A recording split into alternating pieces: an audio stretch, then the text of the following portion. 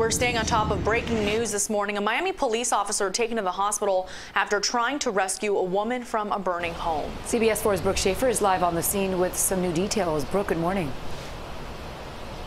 Hey, ladies, good morning. I just spoke with a man who says his mom owns this duplex behind me here in Little Haiti. He said the woman rescued is about 80 years old and lives alone. As the sun comes up this morning, you can see the shattered glass from that window where the woman was eventually pulled to safety from her burning home. But let's get you to some video from overnight. Firefighters told us the call came in around 3 o'clock this morning. When they arrived, they said the, there were several fires inside the home, moving through hallways into different rooms.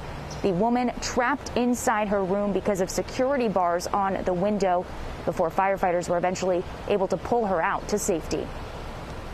She's okay. They took her to the hospital from what I heard that they they got her and she went to the hospital. And like you just heard there, that woman who was rescued, taken to the hospital, along with a Miami police officer who was helping in this rescue, both of them being treated for smoke inhalation. The cause of this fire is now under investigation. I'm live in Little Haiti. Brooke Shafer, CBS 4 this morning.